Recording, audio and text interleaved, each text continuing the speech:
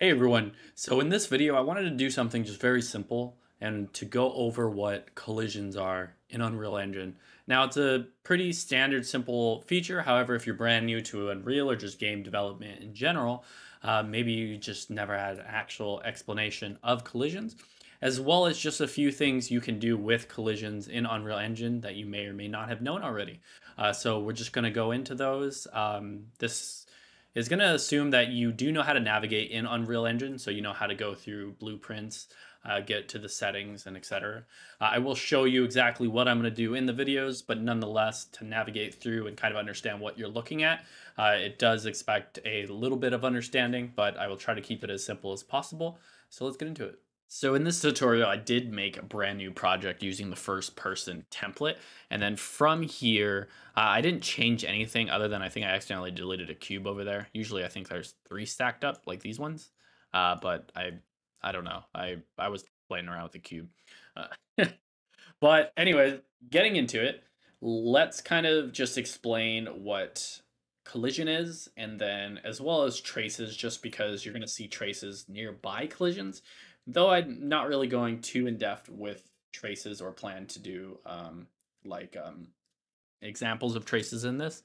But to kind of give an example of what collision is, um, it's essentially invisible force fields around objects or designated areas that you could choose that tell you how other objects could interact with other objects.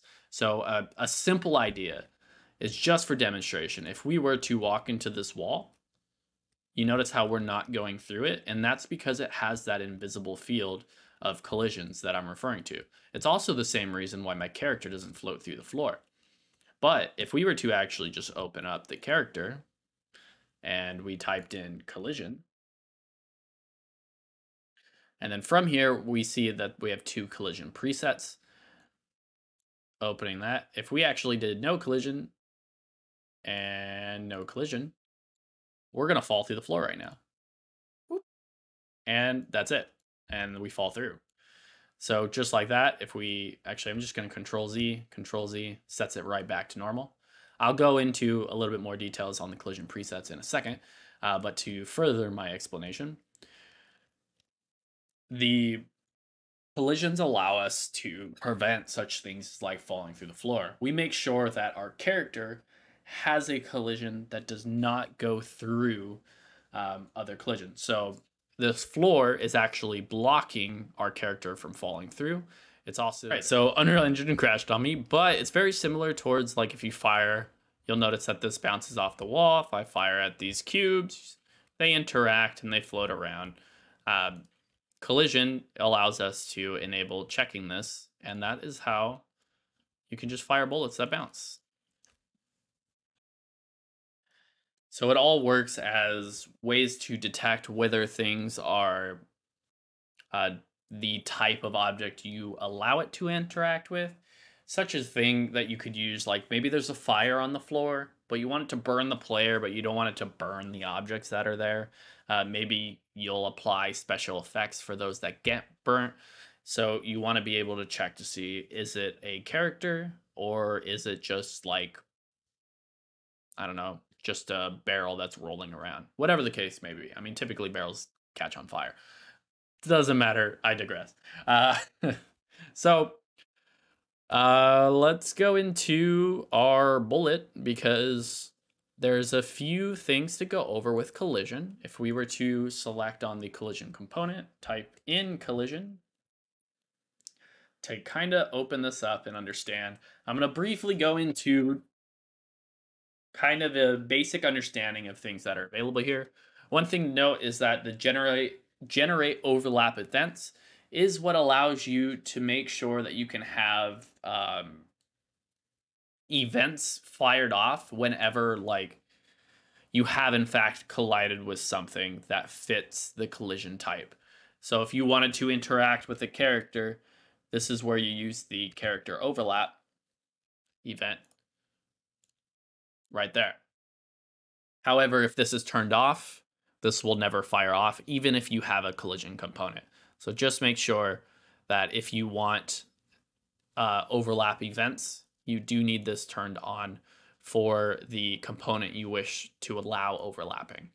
If you have multiple components, just make sure you have generate overlap events for which component you wish to allow it.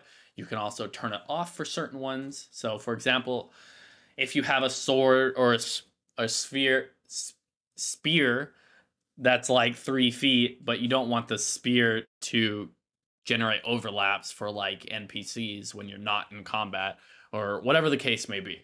Uh, you want to make sure that if something fires and accidentally hits the sphere, you're not the one taking damage because, I mean, that's it's like the old Call of Duty. I died by getting shot in the foot, uh, getting one tapped on hardcore. I don't know. Um, I don't play Call of Duty anymore. Anyways, moving on. The next thing is can characters step up on? This is very simple.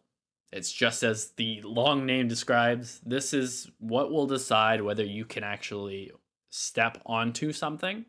So if there is a cube and this is set to no, the character is not going to be able to step up to that cube.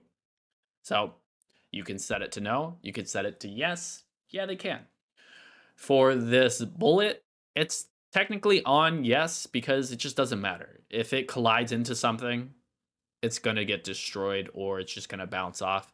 Uh, so it, it, doesn't really matter. Um, if you shoot a character, you, you're the character can't step up on it because they're just going to take damage.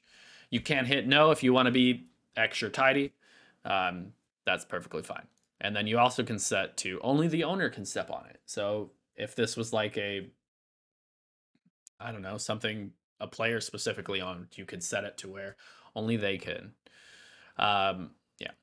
Anyways, on to collision presets. So presets are a list of collisions that Unreal Engine has provided to us already. They have created it built into the system by default. So these are everything that is available to us, and typically they all have a meaning in their own uh, on what they are typically used for, but you are, however, able to create your own. So if we see this entire list here, we'll notice that there are three columns.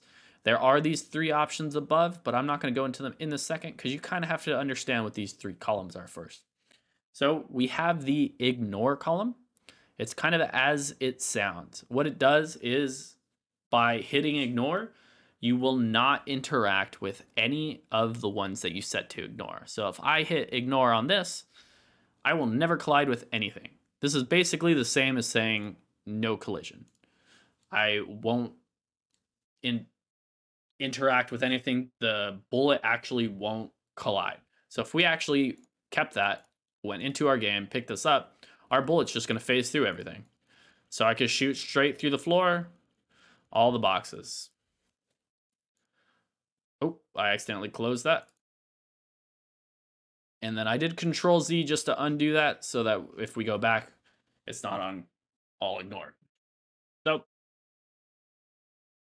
that is what ignore does. So you can specify certain things that you do want it to ignore. A very common thing is that when you have objects in the world and you don't want it to interact with your camera, you just hit that ignore button. This is something most tutorials show you. Maybe they don't explain, but they just go into it. And usually the reason you want to ignore is just so that if I was to turn a corner in like a third person game, I don't want my camera to suddenly move so that it can see the character.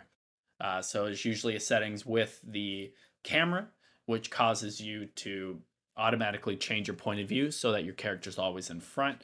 Um, and that's what the colliding does. So just keep in mind with that.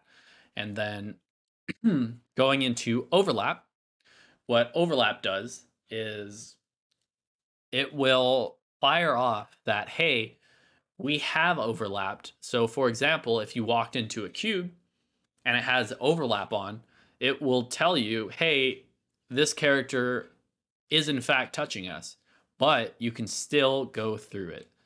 So it wouldn't stop the character from going through. So if there was a cube on the floor and the character just walked through the cube, so they would be able to just phase directly through the cube. That's what overlap does. It's kind of the middleman of both ignore and block. So it doesn't block you from going through objects, but it still will tell you that it's happening. So it allows you to gather information if you ever need to. Block is exactly as it sounds. It is the exact opposite of ignore.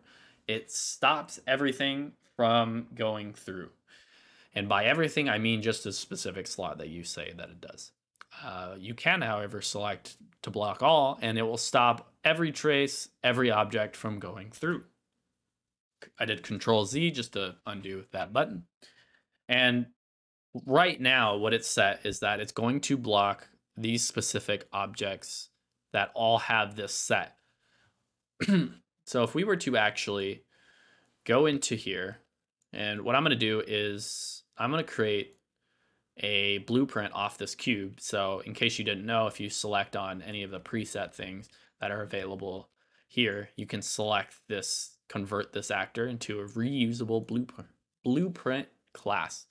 I'm just going to go BP test. It will take this current cube and I'll turn it into an actor. And then from here, if we were to type collision, we'll notice that this has a preset where it's blocking everything. So if we went back to our bullet, we'll see that we also block things, which means we will collide with this specific block. However, if we were to change this to no collision, we go into the world and we'll shoot. You'll notice it's going straight through, and I can hit other blocks through.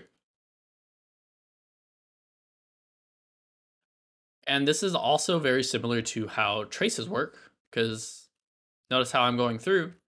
Traces typically allow you to check between two points if there is any type of object between two locations.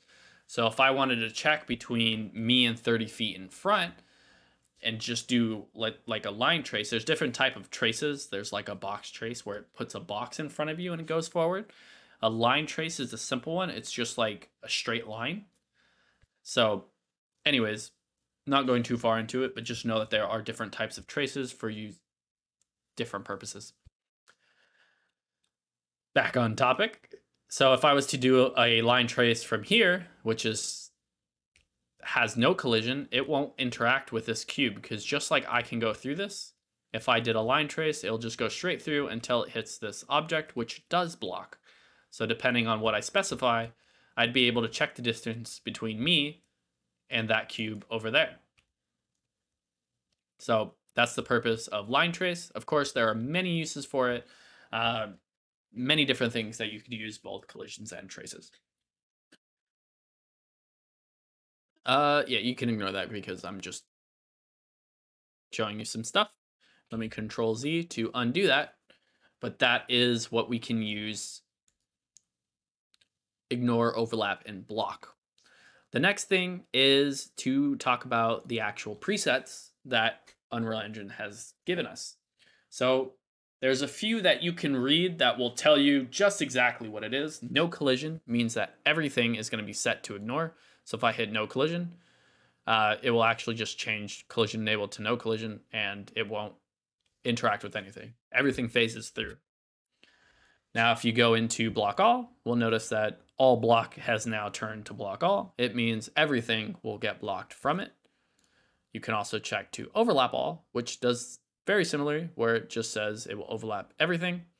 Now there is projectile, and this is a custom made one by Unreal Engine for the first person project, and that's why it still shows as blocked. Um, it's just how they created it. We'll go into how you could create your own, but yeah, overlap all, sets overlap all. So those are the three basics. And all of these other ones are set to very specific things. Ignore only, it will ignore only a pawn. Um, it also counts vehicle in there too, but um, yeah. And you have overlap only pawn, which also will overlap both the pawn and vehicle. And you also notice how the camera gets set to ignore because it's just very common to ignore the camera. But anyways, there are lots of different ones that are available here. Uh, projectile set to block all. It's basically the same as just block all. Except if you actually went to projectile, we'll notice that we have Query only. Let me just undo that. So there are a bunch of presets that are available. I'll show you that we can make our own. Um, the last thing to go over is just the collision enabled and object type. Now I'm not going to go too in depth into these different types. Um, I'm going to give kind of a brief explanation of them. So Query only, if you actually hover on top of it, it is only used for raycasts, sweeps, and overlaps. So kind of think of it as um, it checks throughout the space and not physics. And for that, you kind of have to understand what physics is. So, and for physics, it's just kind of like I'm not a math major, so I can't give you like the best definition, but think of like how it affects the body. If something hits an arm, the body flails around. That is physics. Um, another thing is just like the mass of an object. So you'd be able to calculate if this object is too heavy, the character can't push it. Um, so like if something weighs like 400 kilograms and your character is 50 kilograms, you're not going to be able to move that object, but that object definitely can move you. So there's just things like that. Uh, so of course, there you could probably get some better explanations on physics, but that is the difference. And if you hover on top, it actually tells you physics uh, affects rigid bodies and constraints. And it does not get impacted by Query, which is basically like the flip side. So there's two of those. And then you have collision enabled, which will enable both Query and physics. So you'll be able to block everything spatial as well as any type of body or constraints. And then we have probe only, which is just contact data. So if you hover on top of it, um, it is only used for probing the physics simulation of the rigid body and constraints. So just collecting data, but it doesn't actually affect anything. And then from here is just pretty much the opposite. It's query and probe. And it just it will allow checking the data for the physics simulation. However, it won't actually apply physics. So yeah, there's contact data. Trigger hits, callbacks, and contacts will appear in contact modification. Um, I'll be honest, I don't know what that last part meant, but yeah, that is available. And then we have object types. These are just like labels that you can give to objects. So if you ever want to make sure um, to check whether something is just a projectile, whether it has different types of blocking, if it has a projectile, you can do certain things with it. That's kind of the explanation of this tab. I hope the understanding of ignore, overlap, and block kind of helped you the most. Uh, I know the collision enabled could have had better descriptions, but honestly, I'm not the best on explaining physics, so I'll have to apologize for that. But how we can go about creating our own presets. So for this, this is also where you'd create your own line trace. So if you saw where we only have two line traces, uh, we'll be able to create our own. We'll also be able to create our own object response. You can create your own object type and preset. You want to go into edit, project settings. From here, we want to look for collision. And from here, you have object channels. You'll notice how we see projectile. And like I said, for a first person shooter, Unreal Engine has already created this. But let's say we want to add our own. And let's just name this testing. And you can also set whether um, every object that you currently have will just have the default response and all future ones. So typically, if you're adding a object channel, you usually put it to ignore as the default. However, things like projectile, you want it to block everything, uh, but you may not want every single thing to block because if you're think of your use case that you're using for. Usually, I have used it just um, set it for specific things. So if I wanted to make sure a player had a specific channel, I would make sure that it was set to ignore for everything and I only used it to block on very specific things. So you hit accept, everything will automatically set it to ignore. If we go back to our projectile, we'll go into here where I think we compile. And then now we'll see it's defaulted to ignore and we see that testing available there. So every type of object with collision will now have that populated there. Very similar to where you see trace channels. You can add a new trace channel. You can set what the default should be. So for this example, we'll say block, and we'll just name this, um, I don't know, purple. And if we go back, oh, we'll notice that it now shows up here. So this allows for all your traces to have your own custom trace if you want to use it that is not considered visibility or camera. Uh, usually I create different line, a different line trace uh, because I don't want to affect visibility and camera. Uh, line trace, if you actually just type in line trace,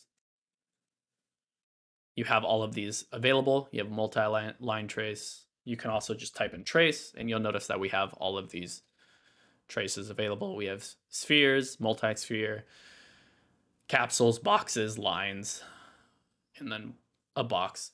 Hmm. So that is all available there. If you were actually select on one, you have a trace channel, and now we can select purple. I know I'm not going too far into traces, but uh, I have just been explaining a little bit because I want to make sure you guys at least know it exists. And then last thing is under preset. These are all the presets Unreal Engine has already provided us. If you wanted to get rid of them, you absolutely could, though I don't delete them. Um, whatever your preference is, if you want to just recreate and get rid of the clutter, you go about doing that. This is where we also see the projectile preset that we saw on the first person, where we have it to projectile at the bottom. Defaults to that. We can also add in a new one and what this would do is that we can create our new one that will be available. So for this, we're going to name this, I don't, I don't know why I'm doing colors, but we'll do blue. You can set whether collision will be set by default. So I'm going to go with just query only. You can select what type of world or what type of object this would be. And for this case, I'm going to have this as a testing object. You can also give a description. This is a test. And then you can set whether it's going to be blocking everything. So I'm going to actually just say everything's going to overlap and it's going to block testing. And then just like that, if I hit OK, we'll now see that we have added this at the bottom. We go over here. Let's compile so it updates. And if we go down, we have blue available. And if we hover on top, we have the description, this is a test. Just like projectile, preset for projectiles. And then UI, it says that so if we hit blue, we see everything is updated, everything overlaps, and it blocks testing. So that's how you can go about creating your own. So I know this gave a bit of explanation on what collision is, terrible explanation on traces uh, and physics, but I hope this lets you know on how to utilize collision, gives you a basic understanding of what everything does and how to move forward while utilizing the different types of collisions and traces.